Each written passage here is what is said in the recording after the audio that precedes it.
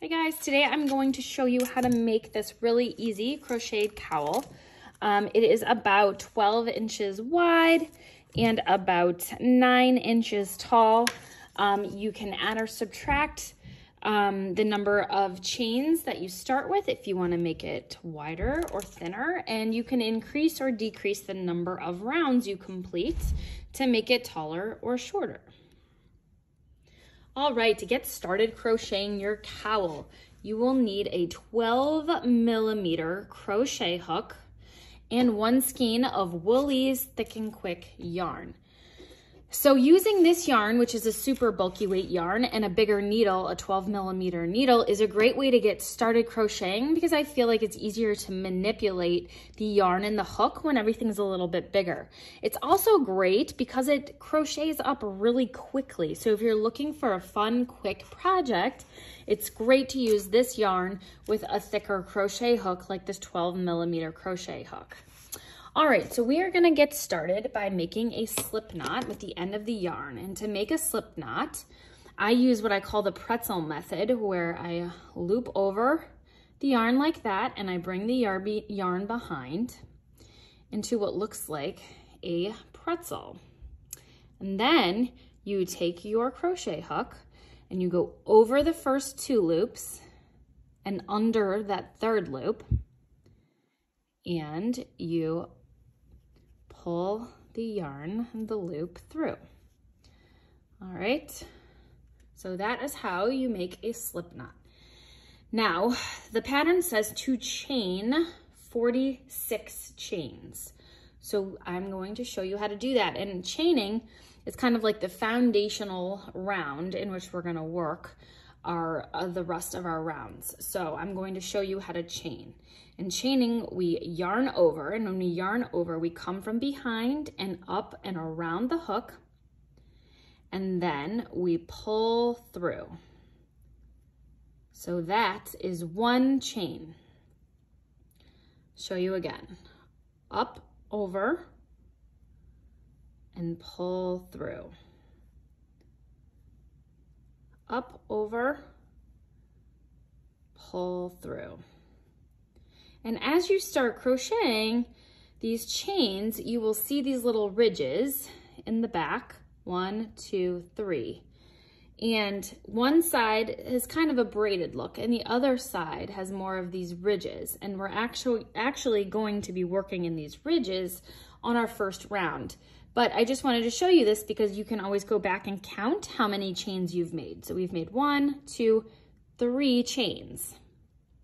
Okay, so we're gonna go all the way to 46.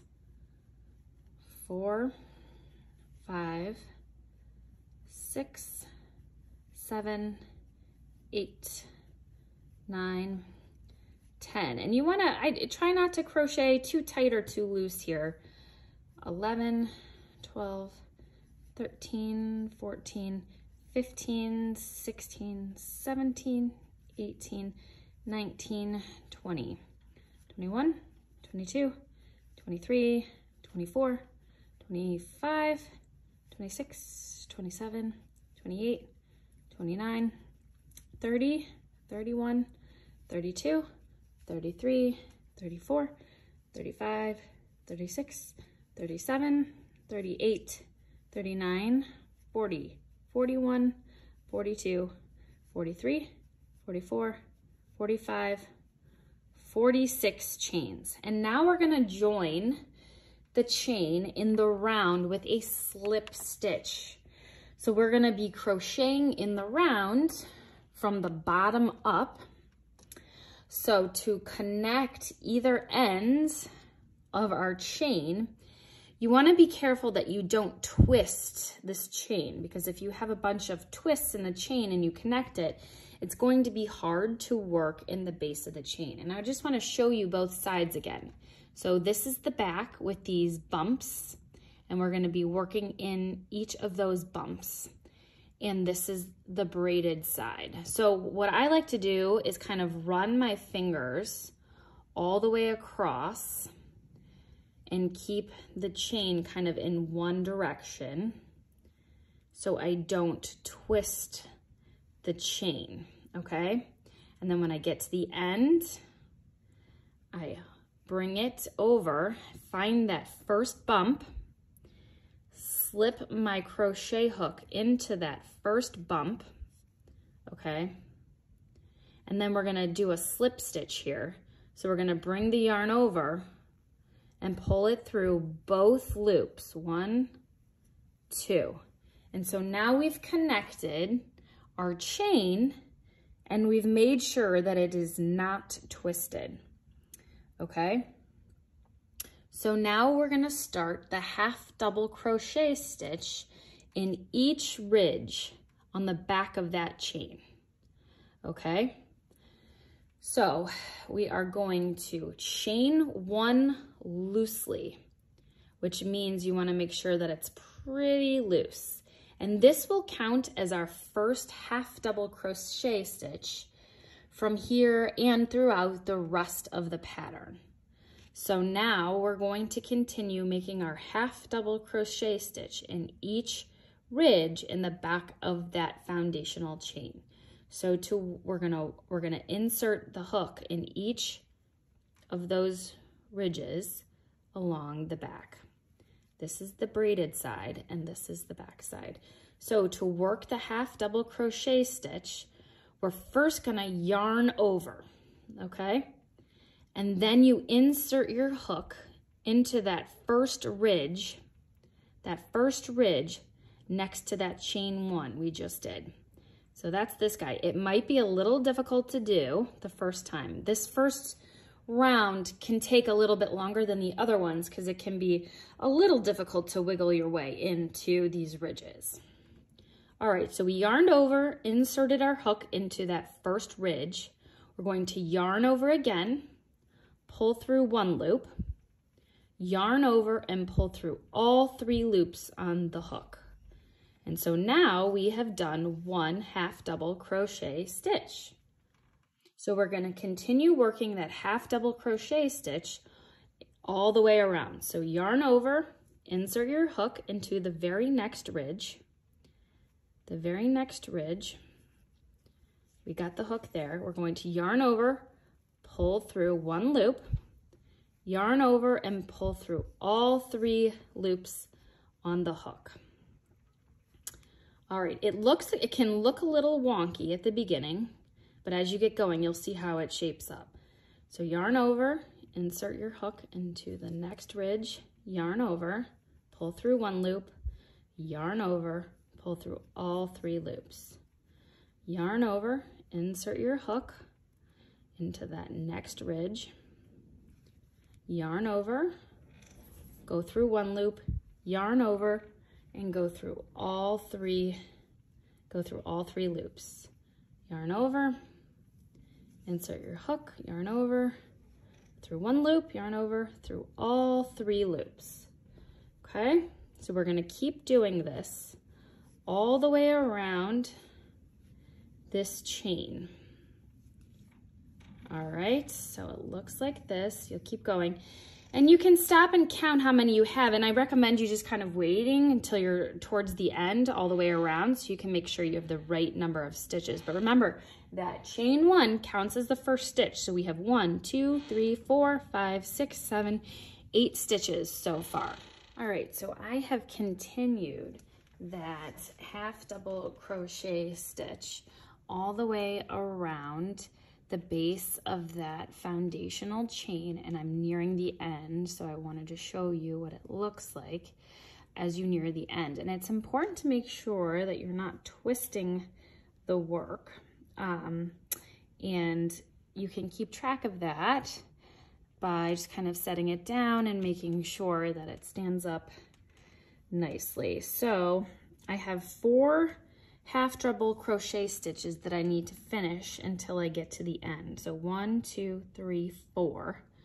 Okay, so I'm going to finish these half double crochet stitches and then I'm gonna show you how I connect to that first chain space. We're gonna do a slip stitch to connect it. Let's show you here. So I have one more half double crochet. And it can get a little tricky. Just again, make sure you're not twisting.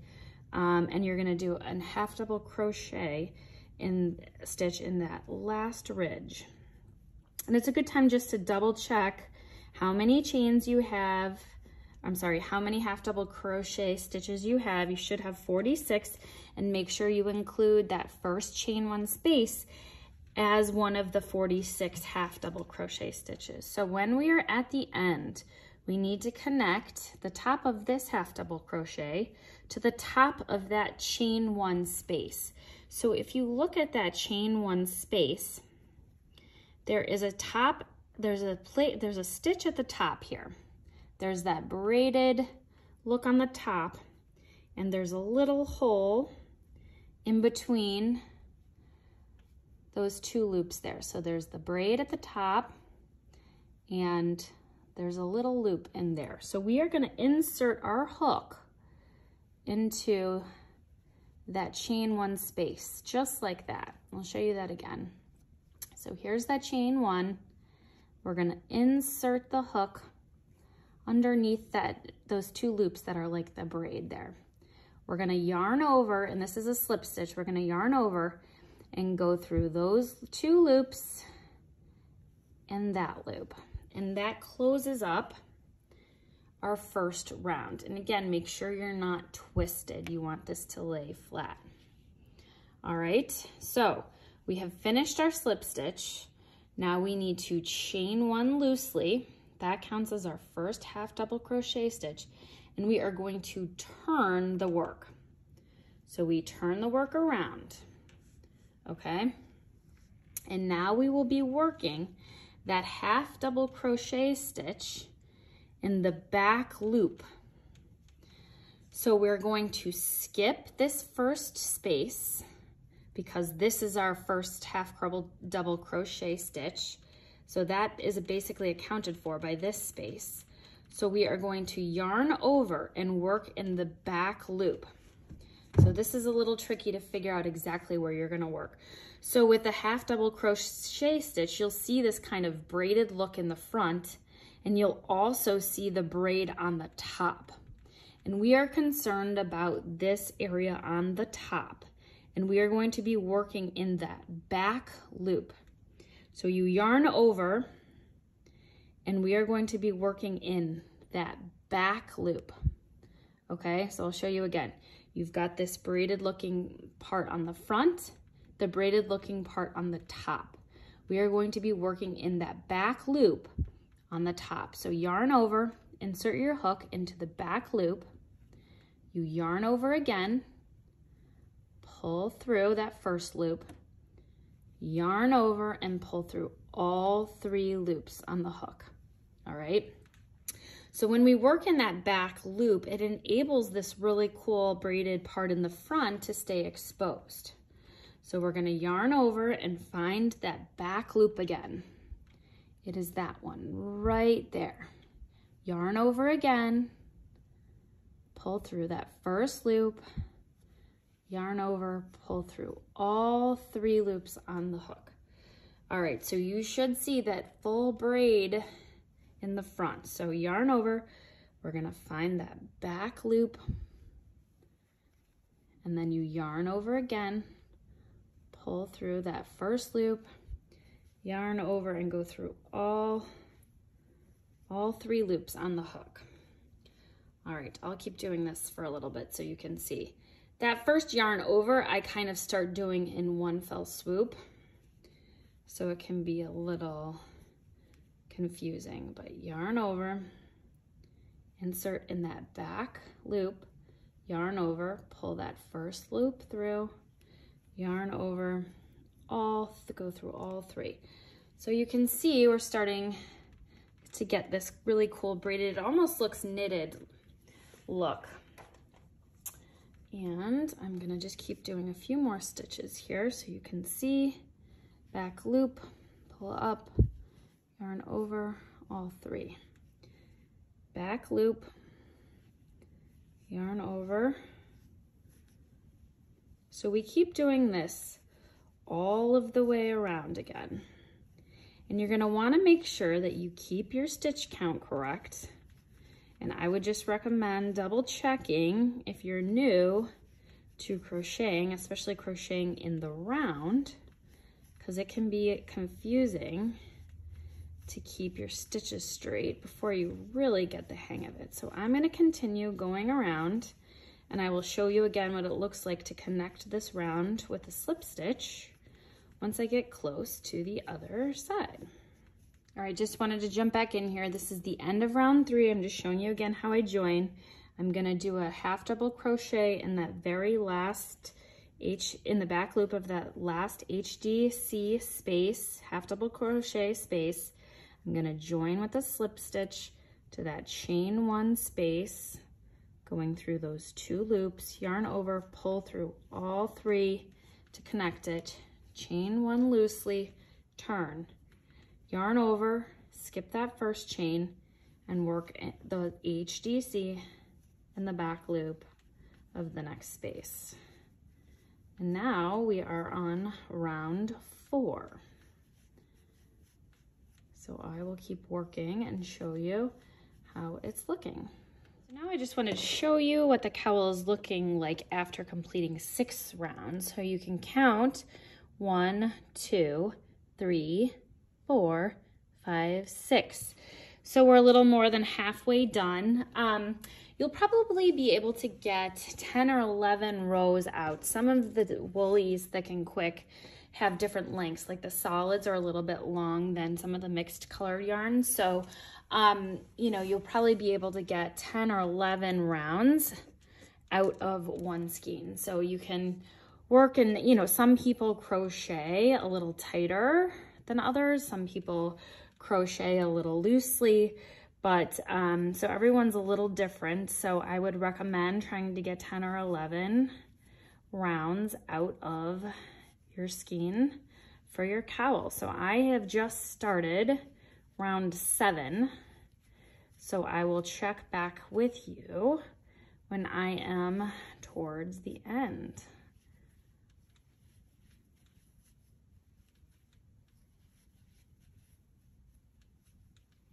All right, so now I am nearing the end of my final round, my 11th round. I can show you where I am here. And then I'll just show you how to end the cowl and weave in those ends and you'll be good to go. So my final HDC, I'm going to join the work again. And now I'm going to um, well here, I'll show you. You can actually cut the yarn now. Give yourself, I don't know, about six inches or so. You can join to the beginning of the round, okay, and slip stitch through, and now just pull all the way through, all right? And then you're gonna take a tapestry needle and weave the yarn through the tapestry needle and we will take this. I like to kind of weave back through here a little bit. And we just kind of follow the yarn down and pull the yarn through a little bit, tighten it up. You can even go down a little bit further. I just kind of weave in those ends. I am not very methodical about it. Some people are more methodical about it than I am. And then you just, once you've woven it in, as long as you'd like it woven in, you can snip the yarn. I give it a little tug a little bit, and then you do the same thing on the other side. Weave that yarn through the tapestry needle. Make sure you're um, putting it in the same, weaving it in on the same side that you wove in the other one and just kind of weave that yarn through down towards the work and loosen it up a little bit and snip it and your cowl is done.